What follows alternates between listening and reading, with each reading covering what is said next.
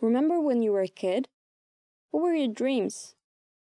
Let's take a random person and say that she wants to become the president of her country, or a superhero, or whatever, and she finds out that it's difficult. The adults explain to her that she can't have it. Do they even have all the knowledge to make such a statement? Or just enough knowledge to say that they couldn't have it? Or perhaps what they really mean is that they didn't find it appealing because they wanted something different and couldn't get even that. So the little person decides to achieve something that in her mind seems more doable, say, becoming an actress or just a happy person.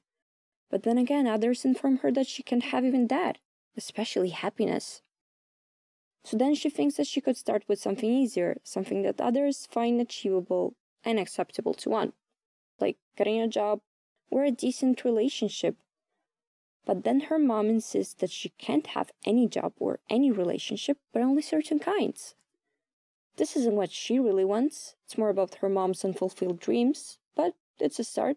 Others approve, and one of her goals is to get some support and appreciation from her beloved ones anyway. So it looks like a good compromise. At this point, all these advisors are happy that she does what they tell her to do. They feel appreciated and helpful. She doesn't want to disappoint them, but are they really helpful? How many compromises can you count here?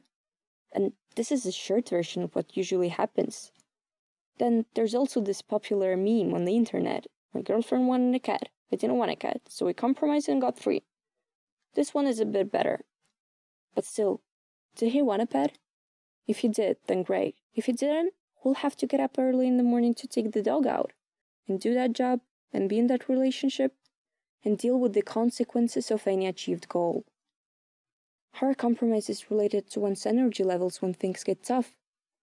With the same amount of challenges, would one have more energy to do something that one really wants? Or to do something that others insisted one should want instead?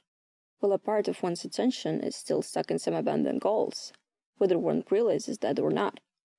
what would be more fulfilling? How about your energy levels? How many times did you compromise? What's the bigger picture?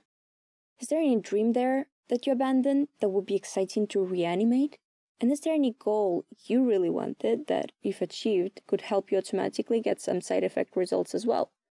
Like wealth, health, recognition, appreciation, admiration, benefits for many others, happiness, and so on. It takes time and effort to achieve anything that matters anyway, doesn't it?